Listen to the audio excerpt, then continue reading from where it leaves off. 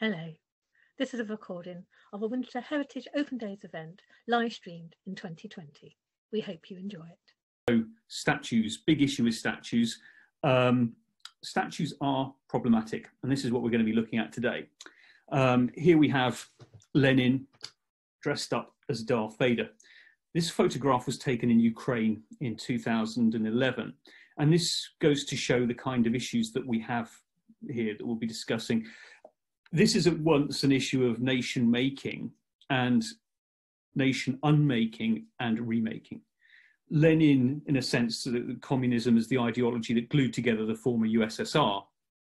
Statues were established across the USSR to kind of act as a coherent knitting together ideology for, for the USSR and the Soviet Union when the Soviet Union collapsed in 1991 and we sort of saw the, the, the constituent states fall apart, the, the, these new states had to find their own meanings, they had to find their own identities. And as time has gone on, these original statues of Lenin have become problematic, and we'll return to this one later. Um, here you can see in 2011, Lenin was, was dressed up as Darth Vader, and the Russians didn't like it. Um, this is the problem with statues. And we'll be looking at this whole series of issues with contested commemoration. This is what statues are, the material culture of commemoration, making memory material. And the point that I've made in my um, overview of this talk, and the point of, that I'm going to make again here is really, really crucial that when one disposes of a statue, when one destroys a statue, attacks a statue, you're not erasing history you're recreating history that the whole act of doing this is part of the biography of that statue the whole kind of long trace of history. And statues are archaeology statues are artifacts. Uh, you know this is the important thing. They're, they're not history in themselves. They are pieces of material culture. It's just that they're imbued with meaning. And that's our starting point. Now you know aficionados of the simpsons here will remember what happened when bart for Adair removed the head from Jebediah Springfield, the statue of Jebediah Springfield. Um, it, it, it, unleashed all forces of chaos. And although this is a bit of a light-hearted uh, way into our debate, um, this tweet from June of this year, um, again, light-hearted sort of uh, sort of take on it, but it shows the importance of statues and how the statue issue has become embedded in our cultural lives now. Um, this relates to the beheading of the uh, statue of Christopher, Columbus in Boston in the United States. Um, and, you know, it's, it's an interesting take. Now, just to sort of start off by not looking at a Western statue at all, but we're going to go to Africa. And we're going to think of an ethnographic example. We're going to think of an example of how um, we can look at statues from a kind of slightly different manner. And this is what we call a Bakongo Nkondi, or fetish statue. Now, the Bakongo people live in central southwest Africa. It's the sort of Congo basin area. It's a huge, huge country. And they have a tradition here of what we call making Nkisi statues, which are statues that are imbued with power. And Nkondi are specialist statues. Now, the term Nkondi means the hunter. And here these statues are hunters of evil spirits and bad luck. And these statues aren't just made by any old artisan, they're made by a specific category of individual within the Congo society called the Nganga. The Nganga would be a wise person, a cunning person, um, you don't use the term witch doctor anymore. It, it is, is more to do with someone who has control of magical powers, and they often make them on the edges of the villages. And and these Nkondis are invested with a huge amount of power. And to hammer in the nails, the act is called the koma mloka, is to hammer in a curse and to, to awaken the latent power of the statue. And if you look in the middle there, there's a sort of ovoid um, space on the on the stomach. In this recess, there are what we call bilongo or medicinal plants and other additives that are put in there to give this what we call a fetish figure magic. And this is what we call. This is a very, very powerful statue. This statue has power. It has been invested by power. And, and what I'm trying to say here is that the, the importance of statues is not a Western phenomenon. It is, it is long lived, as we shall see. and as this fetish statue shows, and all of the statues that we'll be looking at here to some extent are fetish statues that you you you add power to them. Um, we add our own symbolism and our own meanings to statues. We give them meaning, we give them importance, and we give them power. And the um, next slide here is a, a reinterpretation of the um, Nkisi statue by uh, the artist Karen Seneferu. This is a techno Kisi, and here we have a mobile phone added on into the stomach area, and it, it, it's the same thing. It's the same idea. It's it's giving this it's giving this statue a lot of importance, and it's giving the statue power and power to do things. And as I say, this we're looking at the, the phenomenon of statues and contested statues within a global perspective. And it makes sense to start from a non-Western viewpoint, where arguably we can find huge numbers and huge examples of statues that have an innate power. And this is, this is our jumping off point. Now, the, the whole idea of, of, destruction of statues, or what we call iconoclasm, um, is not new we can go back into ancient Egypt and you can find examples of post-mortem um, pharaonic um, readaptation of, of statues and so forth. Statues of rulers were broken after they died, they were destroyed, they were buried, they were reused. They weren't kept in a pristine state. Within the context of Rome, we call this damnatio memoriae, the sort of a post-mortem condemnation of uh, memory. You can find it in the second century CE Severan tombs in Rome, but they're paintings, those, those tomb paintings, and they show physical pictures have been rubbed out. People have been erased post mortem. Their identities have been taken away. Their identities have been stolen. In this case here, what we have in this example here from the, the, the archaeological museum in Parma in Italy is a second, sorry, is a, is a mid first century CE um, representation of formerly the Emperor Caligula, who, as, as, many of you may know, was um, had a had a reputation for wild partying and and madness as well. Um, he, his statue was subsequently re reworked by um, his successor Claudius in the mid first century. But there are many examples of statues being destroyed. For example, um, maybe not destroyed, but sort of uh, taken and, and, placed in places where they weren't meant to be seen. There's the head of Hadrian that was thrown in the River Thames. There was the statue of the third century um, ruler Pertinax at Lullingstone Villa in Kent that was uh, modified, facially modified. So, so we have we have in the classical period, moving on from ancient Egypt to the classical period, um, this concept of destruction of um, statues and removal of statues that weren't favoured anymore. A very, very infamous case of um, iconoclasm or statue removal in a very extreme form happened in March 2001 in Afghanistan with the destruction of the 6th century Bamyan Buddhas. Now, Afghanistan, this, this, this bit of Afghanistan lay across the old silk routes that stretched from Xi'an in western China to Aleppo in Syria. And it was the route through which silk came um, historically into Europe. And the whole of the silk routes effectively at one stage were the, the, the, main religion silk routes was buddhism. And here in bamyan what you have here is actually a buddhist monastery. These are windows in the rock face. The issue with these statues uh, relates not to political issues. That you know we, in ancient rome the issue was probably a sort of political or familial or relating to the imperial family the destruction of the statues. Here it's more of an overt religious issue because Afghanistan in March 2001 um, was under the control of the Taliban. Um, and there was a very sort of um, fundamentalist Islamic stance here.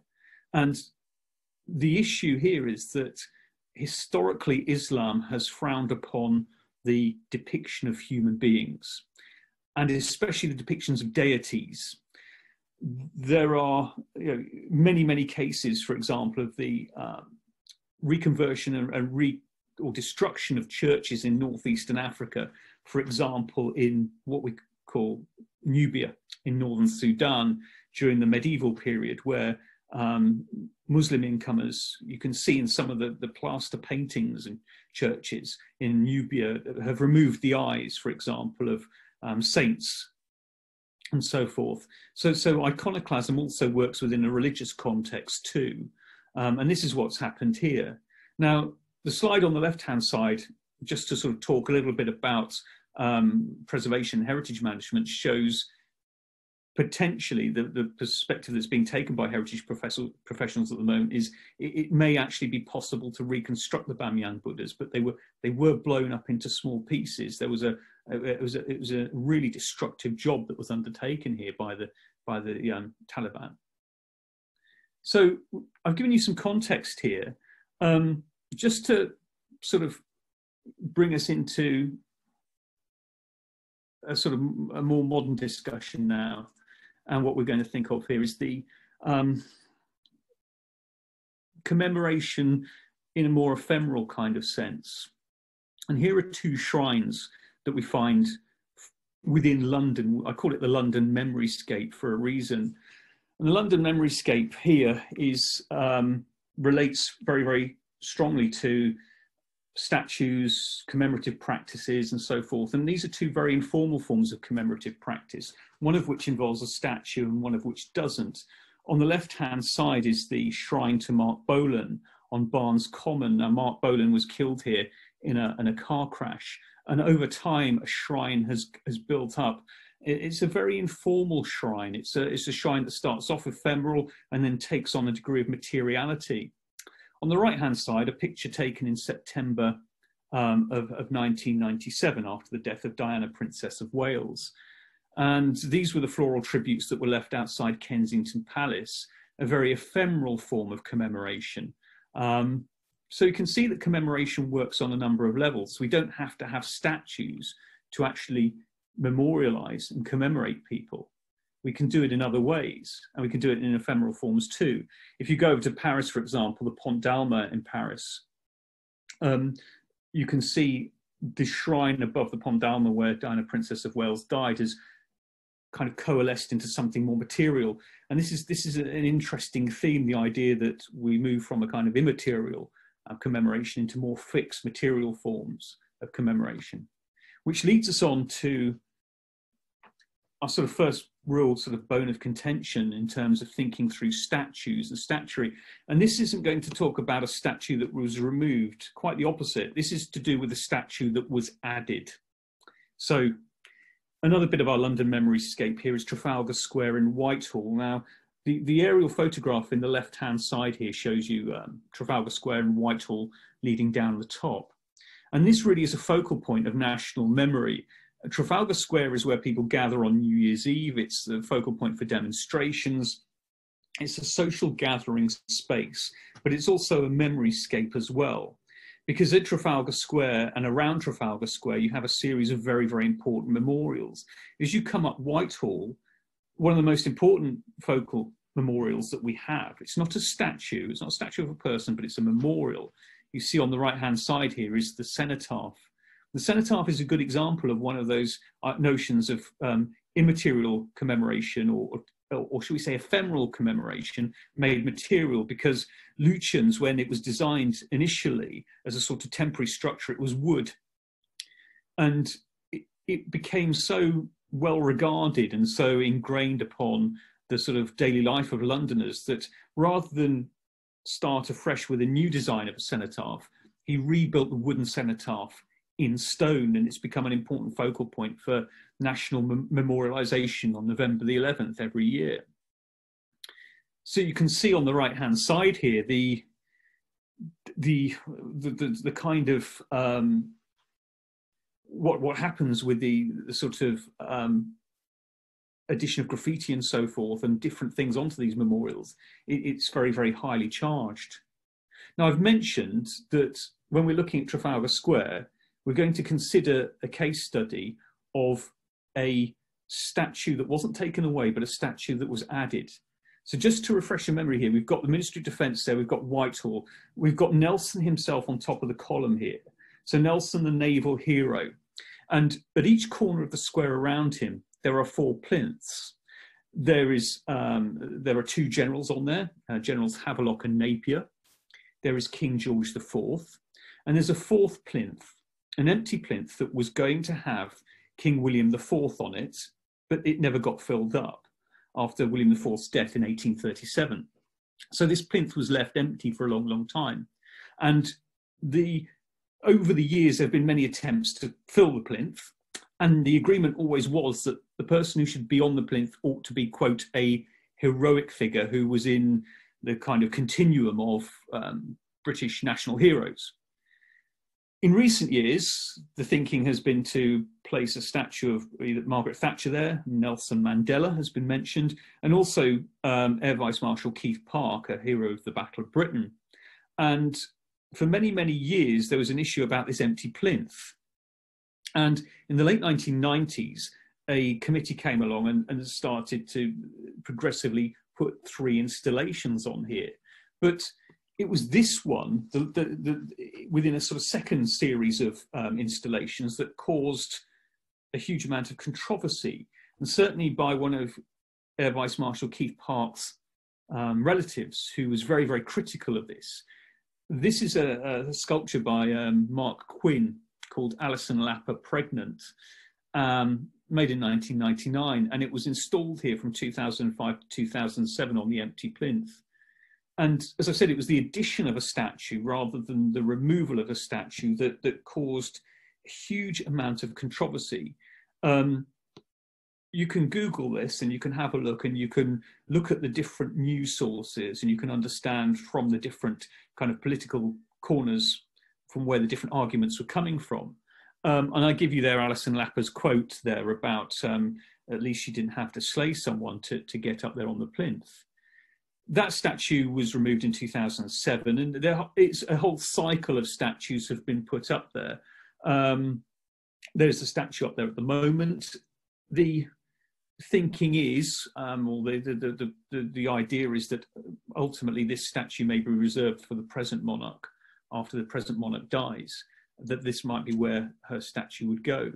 But the, the idea of a contested space here, where there is no statue, just goes to show how important these things are. And statues are incredibly powerful things. And this leads us on to Nelson himself in Trafalgar Square. This is a, Afua Hirsch wrote this um, uh, story in The Guardian in, back in 2017. And it relates, of course, to something that is kind of um, live as, as, a, as, as, an idea at the moment, and the issue of Nelson and his links to slavery. Um, none of that's part of this discussion here. We're, we're, we're, not dealing with the history of Nelson's links with slavery. We're, we're looking at the symbolism of his statue and the symbolism of his representation. Now, this was a this was a comment piece, an opinion piece in the Guardian it, it didn't incite um, any form of destruction. Um, it, it, it, was a it was a what if scenario.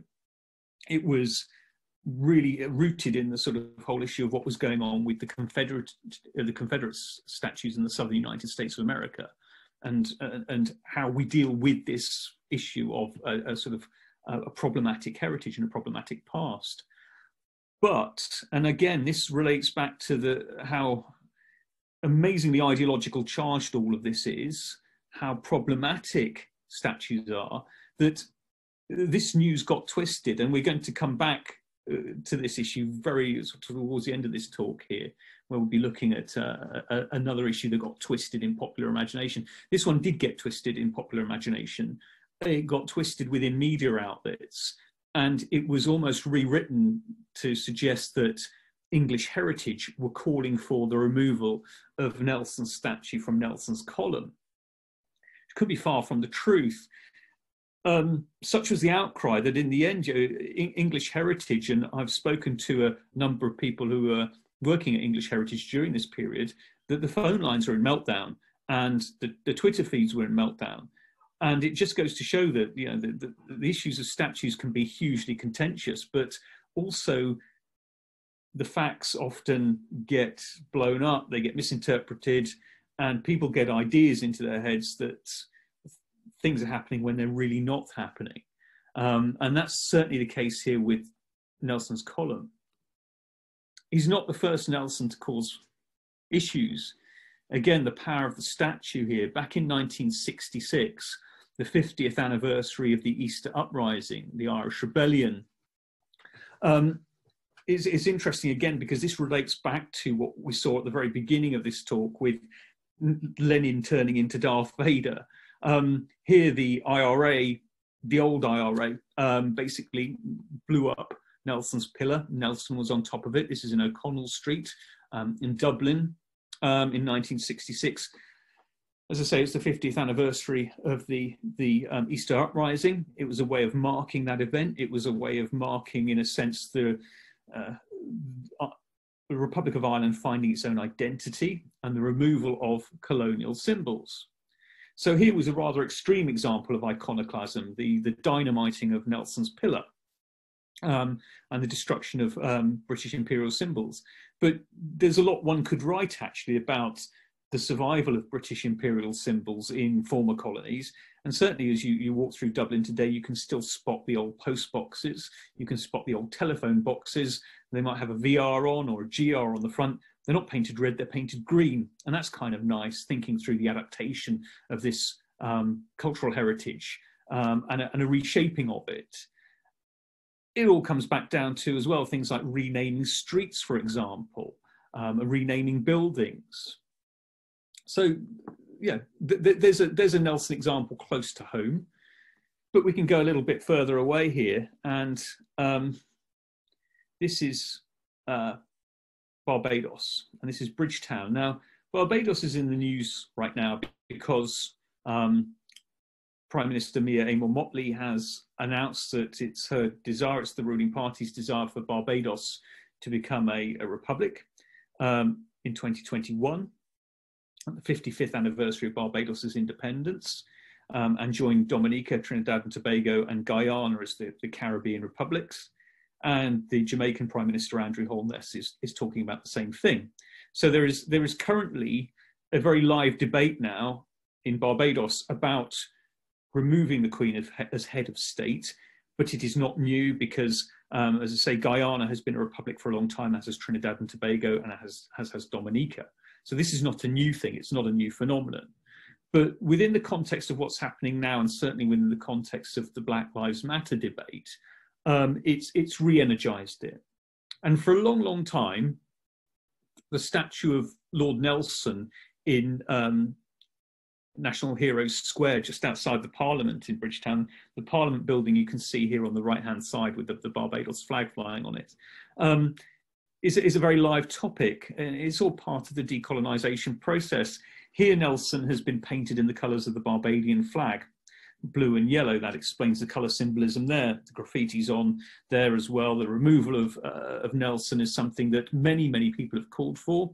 Um, and it is highly likely that Nelson will be quietly removed, but he, it won't be thrown away. It'll probably end up in the Barbados Museum or probably end up um, at the Pierhead or somewhere like that. But it's the location that is important here. As with many statues, this is National Heroes Square. And the idea of national hero is a very strong Caribbean phenomenon and relates to nation building. As I said earlier, you know, nation building is an important part of all of this and, and the, the confidence to find your own symbols.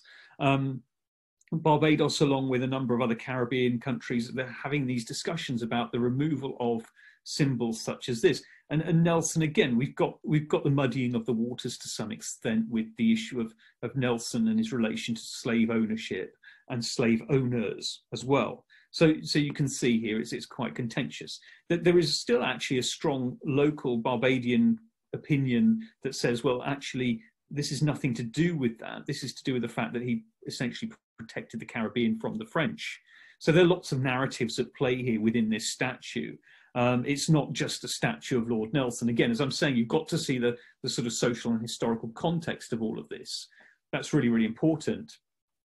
But to stay in Barbados and to stay with another statue, um, this is the sort of statuary that we're finding that, that is starting to, to, to come up in the Caribbean countries and is being discussed. This is the emancipation statue of Bussa. Well, it might not be Bussa. At the um, one of the roundabout sites outside Bridgetown. So as you drive in from Grantley Adams Airport, um, you encounter this. It's actually quite odd, really. One would have thought it ought to have been in National Heroes Square, but it's located on a uh, on a on a motorway roundabout outside Bridgetown. But importantly, it's actually visible then to visitors coming in from the airport. Um, and the statue commemorates, uh, it's a 1985 statue by Karl Broodhagen, who was a Guyanese um, sculptor who, who, worked extensively in Barbados.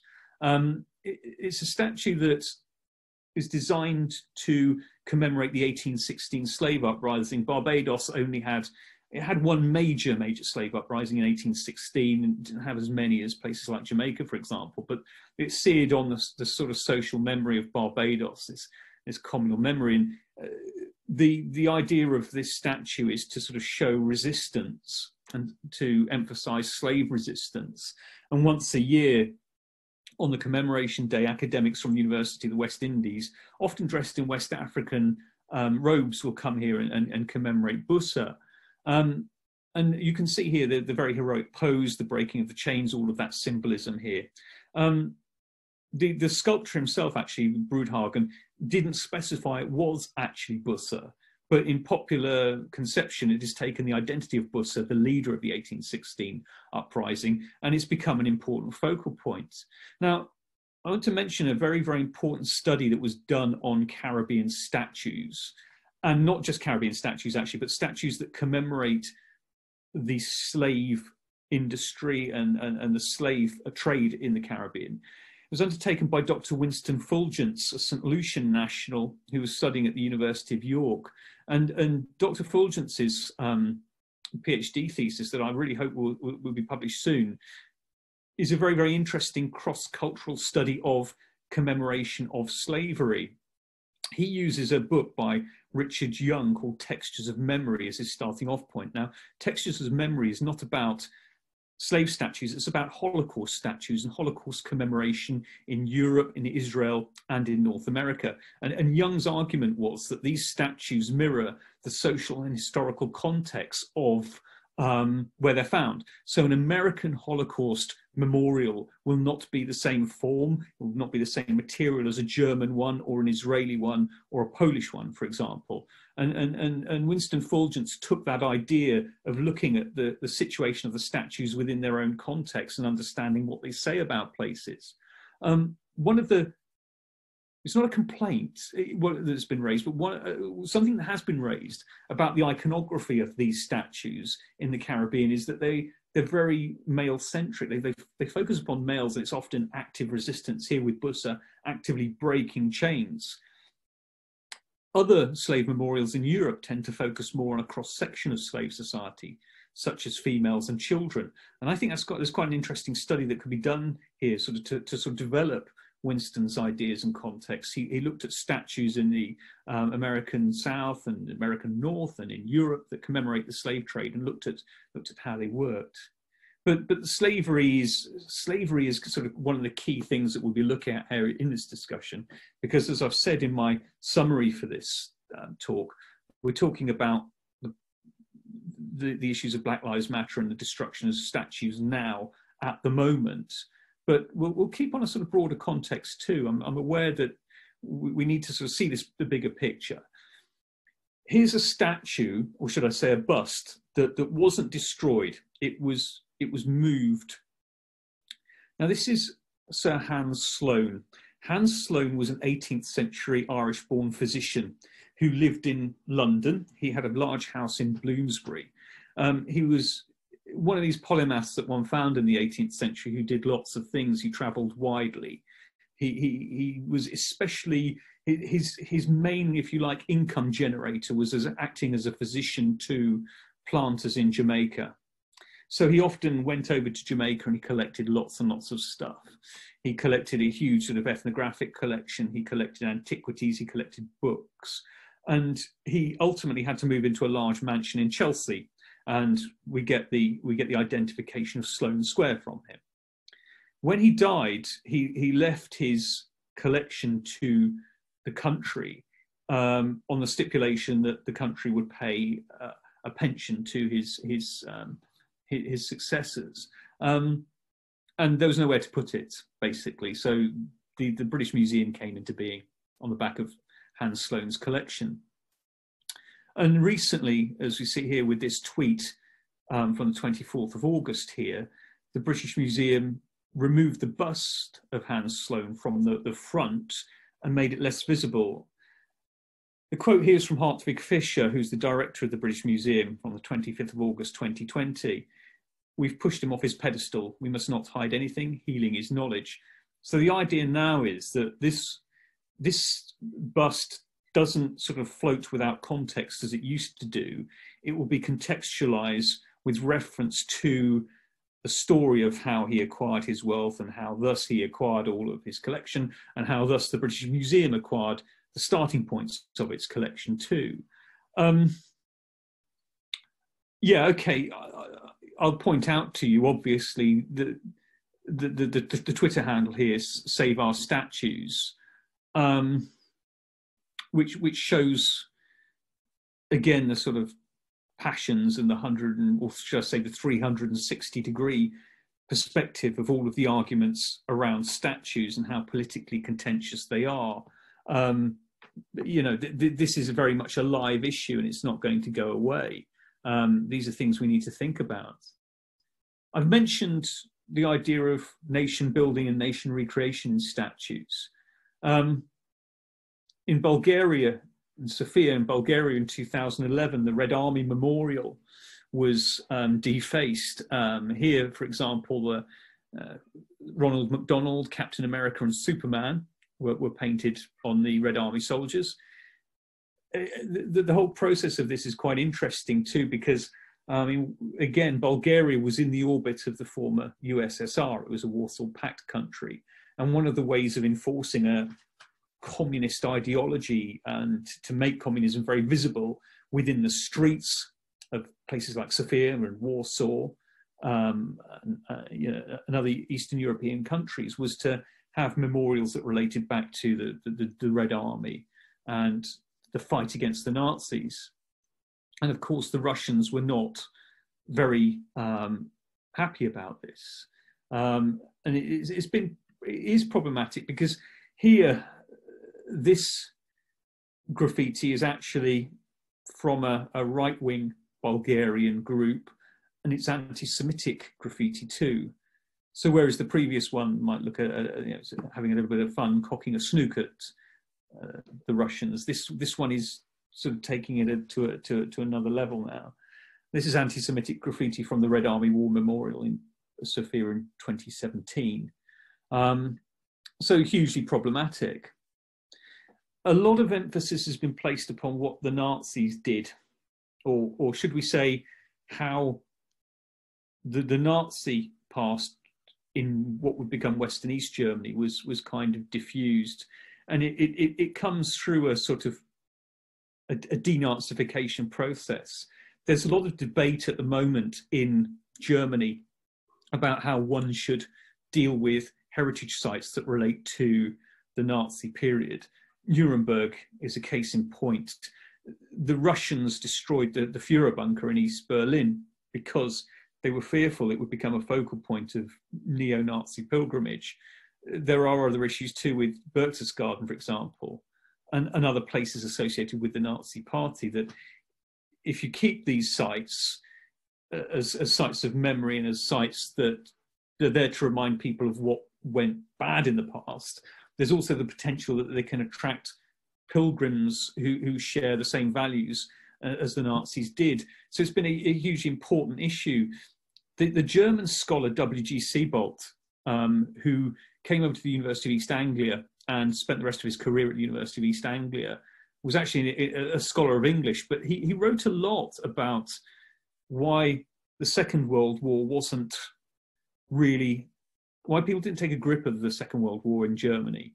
And whereas we talked a lot about memorialization, what Sebald is leading us to think about is the process of forgetting as well, and how we can use heritage in a sense to forget and how to take things out. And this is the Citadel in Berlin, and the Citadel contains and this is important, not just Nazi period statuary, but also statuary relating to the DDR, East Germany, communist um, control of East Germany, and also, interesting enough, to Imperial Germany as well, and statues that relate to German colonization and Imperial Germany overseas from the 1880s to post World War One, when the German colonies in Africa were removed.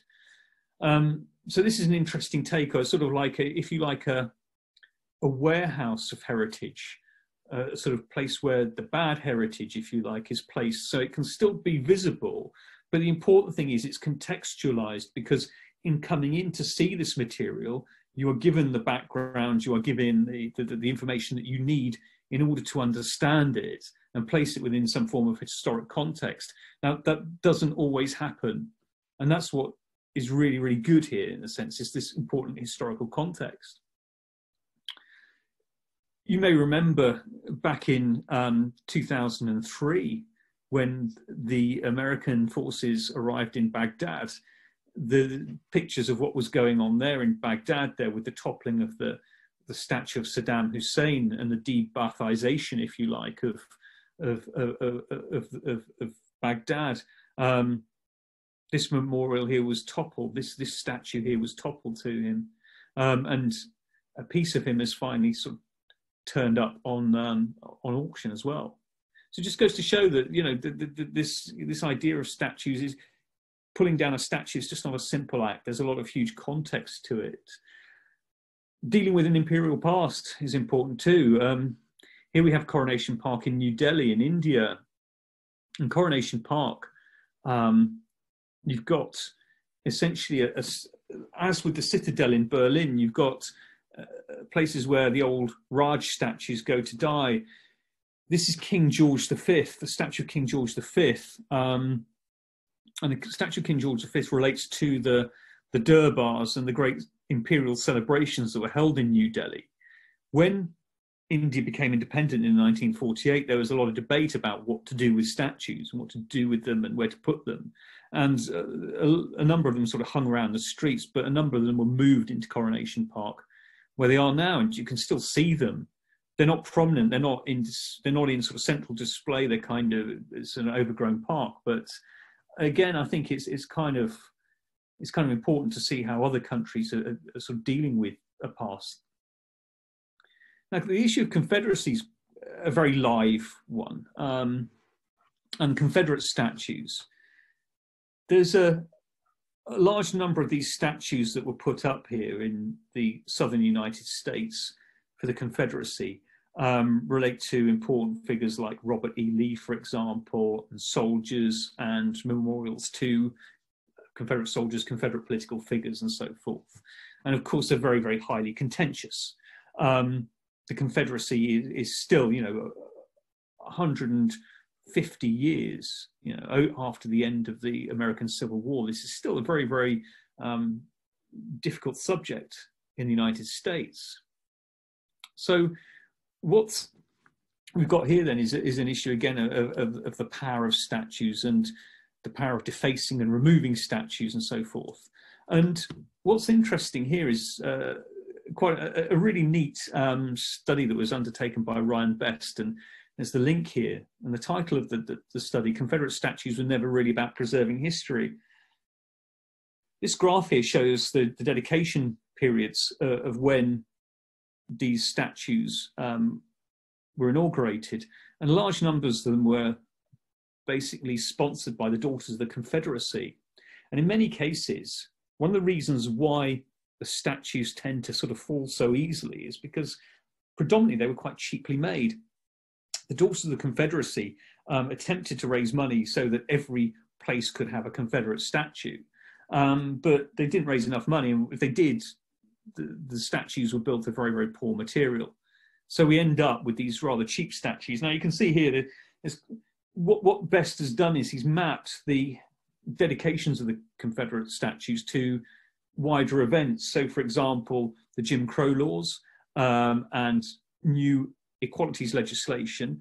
And very briefly in the 1960s, the issue of the um, um, desegregation of schools as well around 1960, which incidentally also sees a large number of schools within the southern United States being renamed after Confederate heroes too. So it's not just statues, it's also renaming that goes on here. And this is important because this is this is what I'm talking about here, the idea that in order to see the, the importance of the statue, you understand its political context and you understand essentially what the wider issues are here. Um, and this is a nice little sort of neat sort of um, graph that, that shows this here. The um, for example, here the NAACP founded in 1909. Now that the National Association for the Advancement of Coloured People was basically a, a way of giving African Americans a voice for the first time in the southern United States. And within the, the former Confederacy, the reaction by the by the predominantly white inhabitants is to is to produce more statues. So again, a really interesting study that looks at that sort of bigger picture. Lately, over the summer, we had our own um, issue here with the Edward Colston statue in Bristol. Now, whenever I've been to Bristol and seen this statue, there has always been some form of graffiti on it. There has always been uh, something there that has been left by the, the to, to, show the, the contentious issues of Colston uh, and, and, and and who he was. Um, it, it's interesting that, that Bristol, as many of you will know, has a huge sort of history around the slave trade, but there was very little sort of direct slave trade from Bristol. It was all the merchants of Bristol who got very wealthy through the slave trade. And Colston was was part of this sort of process of, of, of making that happen. He spent a lot of money on the civic um, kind of improvements of Bristol.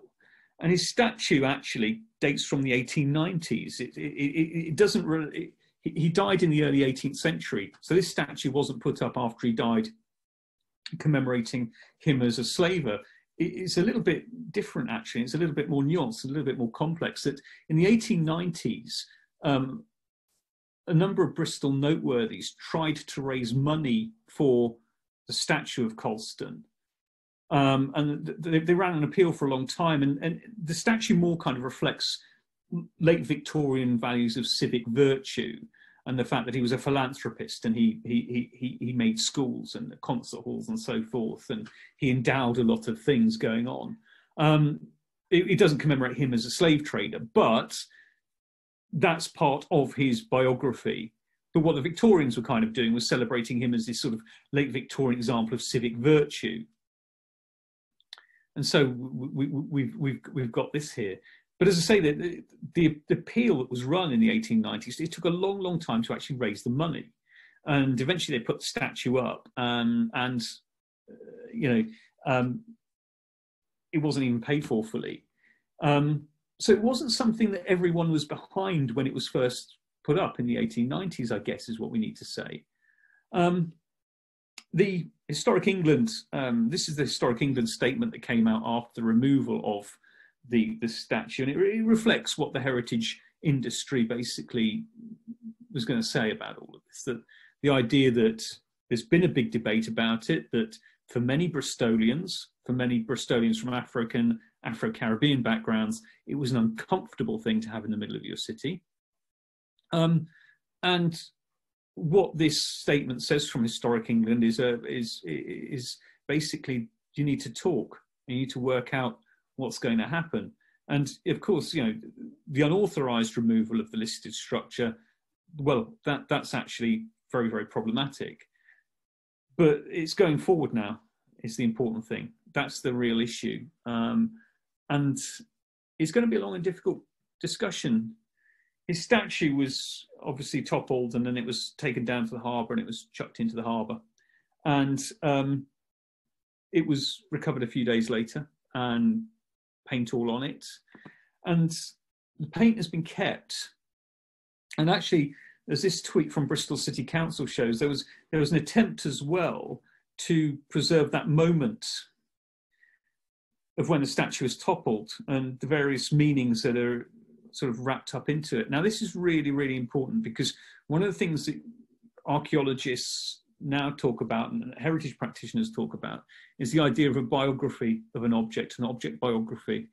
seeing the whole life story of a, of a statue. And this is really interesting because we've already started to do that with Colston. We've seen the Colston statue itself is not a product of Colston's time back in the early 18th century, late 17th century, early 18th century. No, it's a product of Victorian civic values of the 19th century and what Colston did for Bristol. That's, that's what it is.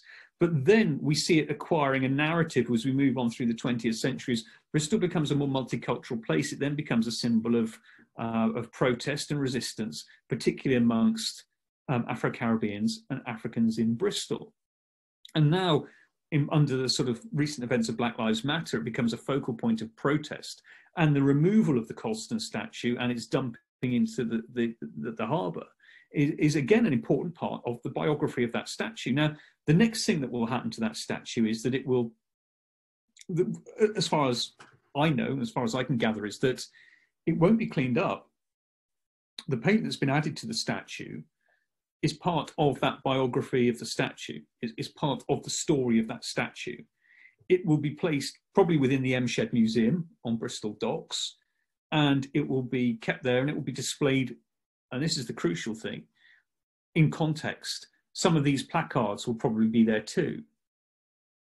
So it's, it's, it's, it's really interesting. So we're going to see this. This is how Colston is going to look now on display. This is this is how you'll see him in the M shed. He'll be kept like this. Marc Quinn, who we met earlier in, in relation to the Alison Lapper statue, had a hand in trying to replace the statue here with the activist Jen Reid. Now, Jen Reid was one of the Black Lives Matters protesters, and this statue was was was put up. It was raised on the plinth, and um, it didn't last long. It was taken down again. But that statue will probably also come into the um, museum display as well. So again, it's it's narratives. It's multiple narratives to help give the context to, to the act. Um, and, and, this is the statement. This is the Twitter statement from the M Shed about what's going on here about keeping the graffiti. Um, the symbolism of the graffiti is, is been preserved and its significance it has for us will be an important story to tell. Um, bicycle tire emerged from the harbour with a statue and also there was a magazine that was rolled up into the, the coattails as well. And that has the names of the people who fitted the statue. So what we have here is a wonderful sort of story of, of, of everything, the whole lot, all of the, the sort of context of that statue. Unfortunately, there was a reaction. Um, this is the grave of a, a slave called Scipio Africanus in Henbury Churchyard in Bristol. And um, a couple of days after the um, Colston statue was um, pulled down and dumped in the harbour, it was destroyed.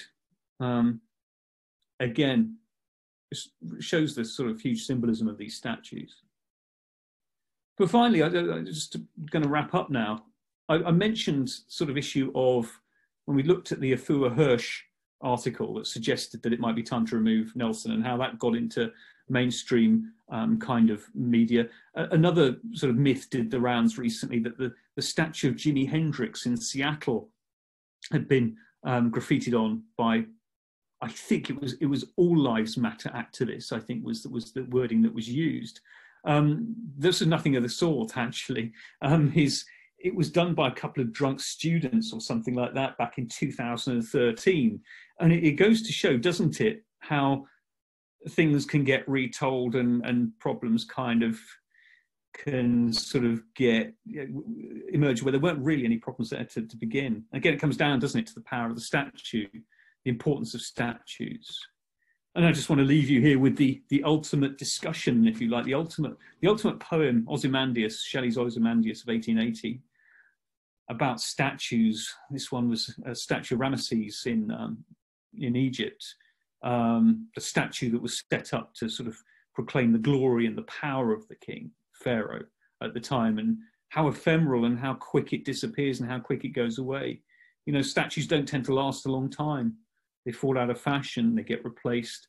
You know, in the Roman period, statues got taken down. They got altered, just reused, just for you know the sake of you know, new architectural fragments and so forth. So th- there are many different backstories to the destruction, removal, remodification of statues out there. but anyway, I've, I've gone on long enough. I want to try and squeeze in some time for some questions here. I see from the chat that I've got some. So, um, Ellie, would you like to come back online, please, and um, sort some questions out for me? Absolutely, I would be more than welcome to. Right, so we'll go for the first one. And that is why did the Hungarians set up a special park for the statues of the Warsaw Pact era leaders rather than dump them? Well, again, I know that it's, probably having had a look at the of what was going on in Germany and sort of understanding the fact that if you if you have statues there visible that people can see within a contextualized environment, that you can understand the experience better. If mm. you if you destroy a statue, if you throw away a statue, if you put a statue in a skip, or if you melt it down, get rid of it, uh, in, in a sense, an artifact that that helps make sense of a wider historical narrative has has gone, hasn't it? And I yeah. think that's. I mean, I don't know, to be honest, the Hungarian example too closely, but to me, that would appear to be the decision that they, they've consciously taken, as in the case of the Germans with Nazi statues and so forth, to kind of detoxify them, remove them from a, a kind of central place where they are visible and perhaps not properly interpretable and being placed in a place where they can be contextualized. Okay, brilliant. But that's a supposition. That's my yeah, guess. Yeah, absolutely. And in some cases, that's all we can do. Uh, the second question comes in from Stephanie. And she's asked, related to the Alison Lapper statue and other modern statues, mm-hmm. are there recommendations for factors to consider for new statues? Does the sculpture sculptor have free hand? Should someone be dead for at least a few years before the statue is made so people can dig around and find out their dirty laundry? Mm-hmm. And how are societies addressing these kinds of questions? That's just a really good question. Um, I guess I guess that's a study that needs to be done, isn't it? Because one could one could have a look, for example, at um, plotting the the dates of the erection of statues in the Victorian period against mm. sort of death and so forth, and to see sort of the immediacy that these things were set up. Um, were these people famous, and were they? Did they then suddenly sort of did their star fade, if you see what I mean, and their hmm. statues mm. got removed and so forth. And I think our attitudes to statues have changed since Victorian times because um, we are there's a different range of things that we use as statues, a different range of forms, different things that we commemorate. Um, Victorian statues arguably have a very a more narrower kind of commemorative basis. They tend to focus um, upon different themes than we do. It relates back to the study that Richard Young did on um, textures of memory and Holocaust um, commemoration. So that's that's kind of interesting. In terms of uh, another part that I understand from that question is the issue of impact of new statues on spaces where there are potentially other listed um, buildings. I mean, the plinth in Trafalgar Square, I'm not sure the listing status of it, but placing a statue on it is, is not a problem from the listing process or the listing policy point of view.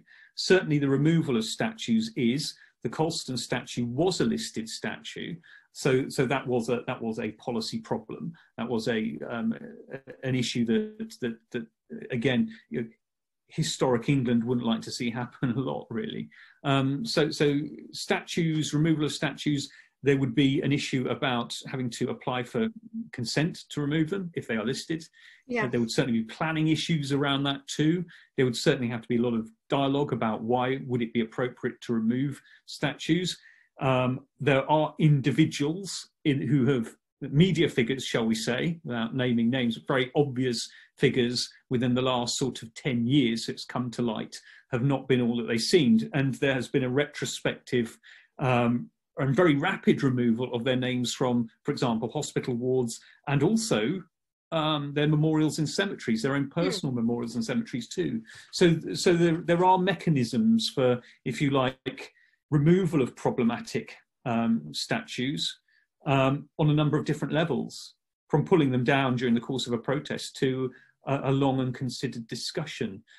I'm, I'm, not sure if there's that sort of fully answer the question there, but um, it's an attempt to. It's a very, very, yeah. very, very good question. I think one that you could really develop, actually. Yeah. Yeah, absolutely. Uh, there's another fairly long one here from Joanna, um, but it follows the same sort of theme. Uh, when we take down statues which are contested, how do we ensure that we aren't creating a space where the addition of a statue, as with the Alison Lapper one, provides further controversy? How do we remove statues when contextualization isn't enough without creating further issues? Um, and she goes on to say, not saying we shouldn't uh, we shouldn't take some some of these statues down, just wondering how we go about it. And uh, Kyle says, you know, do we take a two-prong approach, exploring the impact of the theme slash context of contemporary statues, which should be tackled, as well as re-examining the past? Mm. the, the, issue with, the issue with Alison Lapper was that a statue hadn't been taken down. There was no statue there in the first place. So it, it was the one that was set aside for William IV, but that never happened. So it was empty for a mm. long, long time the, the issue with Alison Lapper was that it was the wider sighting and the wider context of that yeah. statue that was crucial because of the perception that it was a national heroes square. Havelock Napier, George the um, George the Fourth, um, Nelson, and then as you go on down Whitehall, you've got a, a, a, number of other military statues too. And that was sort of like the, that was the main sort of issue there, the contention that you were moving a very obvious modernist piece in that didn't relate to um, warfare or sort of historical figures in warfare and so forth. Um, and actually, then th- that is that plinth has been left kind of as an open installation space. So the statues, re- new statues appear there on a on a very regular basis. The uh, uh, Helen Phillipson, I think, is the statue that's there at the moment. Her statues that there at the moment. Mm. Um, there there is a lot of material that sort of then you know, it's, it's a nice sort of display space in central London.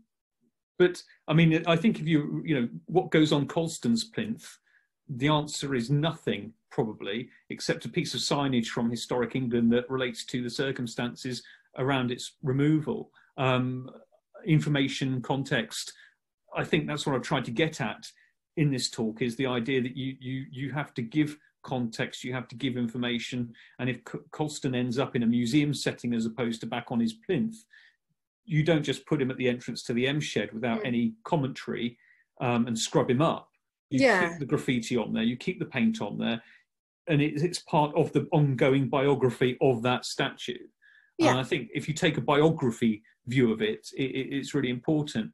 Um, but the idea of replacing a contentious statue with a contentious statue um, it's all subjective, isn't it? Yeah, absolutely. It's all subjective. Yeah.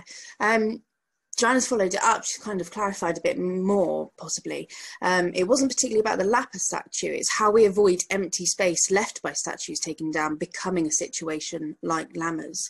You know, how do we fill the spaces emptied by removed contested statues? Well, my, my, my question to that is why do we need to? If if you have sign if, if there's signage up there that said well there used to be a statue here and this is what happened to it and you can go and find it now over here um, it, it, kind of doesn't close the circle but it but it, it, it, sort of gives it gives the interpret it gives the the person who is seeing that plinth that empty plinth it gives them the interpretive power it gives them the information it gives them the context to understand what has happened. The absence is important you know, there is a there's a there's a huge range of new theoretical thinking now within heritage studies about absences, about empty places, about the issues of, of things not being there and how we deal with them. And, and and is it is it important to replace? I mean, you know, on a very very obvious level, you know, with with, with issues of conservation practice and and how one repairs ancient buildings, the idea that when you do this, the repairs have to be you, you have to um, catalogue them all and they have to be very recognisable you have mm. to see where the old stuff ends and the modern stuff begins. It has to be reversible as well. So these are all sort of like wider heritage practices that we can bring to the idea of, of these contested spaces, I think. Yeah, okay. Uh, Jade asks, do you think that removing statues can lose the parts of our heritage or lose parts of our heritage? Yeah, I think inevitably losing losing anything um, mm. is is a loss of heritage. But I think the question you need to be asking is, is if that heritage is problematic to sectors of our society, what do we do with it? Um, and for example, Colston hasn't been lost. The, the issue that's been undertaken in Germany, for example, is interesting too. And I think, you know, we, we have a freedom, we're lucky that we have the freedom to go and protest like this and, and, and, uh, undertake this. I mean, the, criminal damage of these things is, is it is illegal, and I'll be very clear about that. I, in my talk, that none of this is is condoning it, but what I'm saying is it's all part and parcel of thousands and thousands of years worth of human behaviour that ain't going to change in the future. So yeah, although it, it would be regrettable, in a sense, this this has happened all the time, and history is always being reinterpreted yeah. and rethought. Absolutely. Um, couple more then before we wrap this up. I've got Tom here with. Uh, it's quite interesting that upon the removal of the Colston statue, there was an immediate move to protect the Churchill statue in Westminster. Do you think that this relates to some kind of prior prioritization of statues? And if so, why do you think it's valued more than others? The, the Churchill statue is interesting because that one, if you go back to the poll tax riots of 1990, and also a, a, number of other subsequent riots. The, the Churchill statue always seems to get um, targeted. Um, is very visible for a start. It's in mm. it, it's in Parliament Square. It's very very visible, and I'm guessing the issue is this, and it's only what it's only my interpretation of this is that Churchill is a more immediate historical figure insofar as his his grandson's still alive, for example. His family, there are still families still alive that are very close to Churchill. There's still people alive who remember Churchill and knew him very closely. There are still people alive, for example, who lived through the Second World War, yeah. who who see Churchill within a different context. So so so the individual Churchill has a, if you like, a, a different embodies a different set of values, perhaps, than someone like Colston. Um, so it, it may be that you know, the, the fact is that Churchill is, the, the, again, the reinterpretation of Churchill of the character and his historical context too, um, within the, his, his attitudes to India, for example, his attitudes to empire have, have made him a target. So for, for, for, many people, he's, he's at once a kind of um, a, a, very, very a hero figure and also a target for anti-racism protests. And it's, it's interesting because you can see how this, when this all played out recently, that there was a counter protest, a, a statue protection protest that was undertaken um, that um, sought to protect the statues. So it shows that that that was a very very loaded symbolic issue. I would I would suggest that a number of people in Bristol merely shrugged their shoulders when the Colston statue was um, was was was taken down because to be honest there's no emotional investment or historical investment in him. He's an abstract. He's more of an abstract. Um, the churchill statue isn't. Yeah. Okay. I hadn't thought about it like that actually and i hadn't thought about him being such a close figure in time. So that's actually a really interesting take. Um, i'm going to squish two questions together here yeah. So I've got Tom with um, with context being key for understanding statues. Do you think we will see changes being made to statue lo- statue locations themselves, i.e., plaques and information boards, or will we see major changes such as the removal or replacement of statues like the Colston statue? And what I'm going to throw on the end there, so don't forget anything, um, is Saul asking, how do you think statues will be chosen in the future? Um, should it be popular vote or agreed by the powers that be. Take that last one, actually, because we don't tend to do statues that much anymore. And I suspect as we, just to throw in a little theoretical curveball here and use the hmm. P word, within a postmodernist or supermodern, supermodern, like capitalist context, it's very, very rare. We don't tend we don't tend to see statuary around. Statuary is very much um, within the sort of context that we see it in our day-to-day lives now outside of churches and churchyards and so forth it, it's it's really a very sort of victorian it's a very strong victorian um, edwardian and sort of 20th century phenomenon i suspect within the context of the 21st century we'll find other ways of memorializing people um, and that might actually be through digital means it might be yeah. through other creative means that we don't even know about yet so it may be that the con- the concept of a physical statue such as it is might not be valid for the 21st century. Yeah. So that's the last bit of that question. The first bit was about, just help me again, Ellie, was. Um, it was. Two seconds. Uh, it was with context being key for understanding yeah. statues. Will we see changes being made to statue locations themselves, plaques, information boards, um, or will we see major changes such as removal or replacement? Okay, right. Okay, so so yeah, with the context of new statuary in the 21st century, I suspect that will be a, a, a sort of digital and it'll be a different way of doing things. But also, then the way that we deal with statues in the past will also change. It will also probably be very, very heavily um, in terms of contextualized within information. There'll, there will be more debates going on. We've got the Rhodes Must Fall campaign. We've got there are other contentious statues around in the UK, mm. um, and I think there'll be dialogue. And I think I'm hoping it'll be dialogue. I'm hoping it's discussion, um, and I'm hoping that if the statues are removed and taken away, that they are placed somewhere where they can be still seen as historical artifacts, but more yeah. importantly, they can be interpreted properly as well, and the, the whole 360 degree story can be told as opposed yeah. to one angle. Okay, brilliant. Um, where's my next one? Uh, do you think the Colston statue would have been toppled earlier? Uh, would have been toppled if an alternative narrative had been established earlier? If I could speak.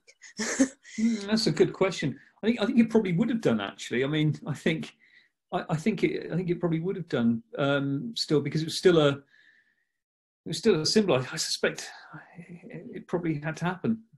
Yeah. I suspect. But that is a really good question. I mean, again, it's a bit counterfactual, but I, I, I think if you see, if you understand more the context of the statues, you might be less inclined to sort of.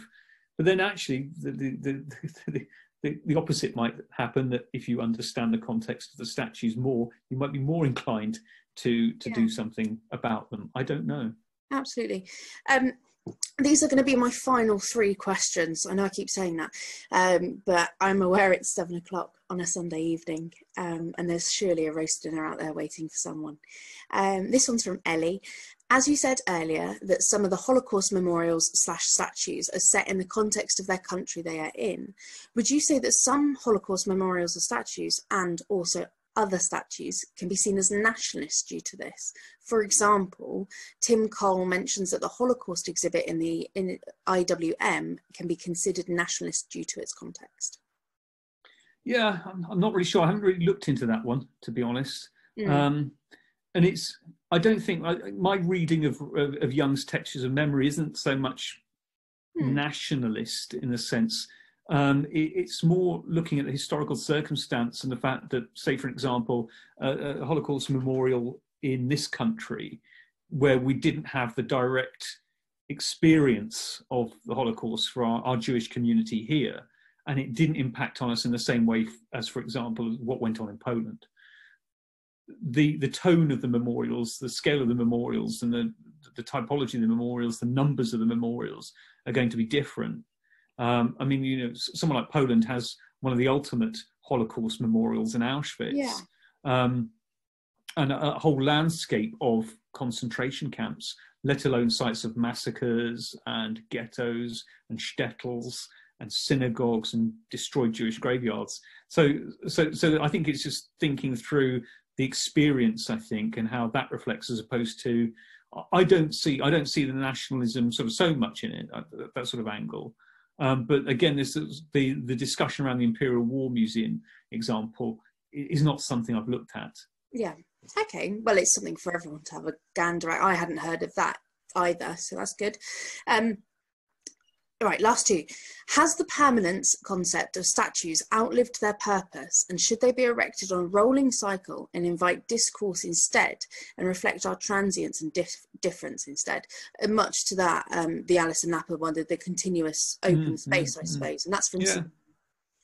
Oh, that's from Sabina. Yeah, I mean, I, I think, yeah, um, I think I've sort of discussed that. I think that maybe the statuaries had its had its chance for the 21st century uh, I think we, we need to be more open to different strategies of commemoration of individuals in public spaces, private spaces, in between spaces, um, and not just in physical form, in material form, in virtual form too. I think someone needs to write a postmodern approach to statuary. Brilliant. Wow, there's a degree out there waiting. Um, and my final question of tonight it comes from Stella. How would a heritage manor be, manager begin to navigate the complexities of various voices in a community demanding the removal and preservation of contested heritage? Mm, good question, Stella. Okay, I mean, I think I, I, think the issue is that is having the discussions in the first place is is, the, is the crucial mm. first step, and it is not. You know, it's, it's not easy. It's not easy to get all the voices of different stakeholders together it's, it's, it's, difficult to get all of the voices. It's difficult to get all the opinions. It's difficult to, to, to, to, judge what's, what's, what's going on. But I think it's something that heritage managers are going to have to do more. Planning departments in towns and cities, um, whoever owns the statues as well. I mean, frequently municipalities own these things, and they often don't realise they've got something contentious on their hands until it's sort of too late. Um, so I, I, would suggest it's it's something that should be facilitated through local planning departments and through discussions there, through museums, and also I think it's something we could do more in schools as well. Perfect. Um, we're going to end it there. Thank you so much, Niall. This has been really, really interesting and, of course, very topical. Um, I'm going to say thank you to everyone who joined us tonight.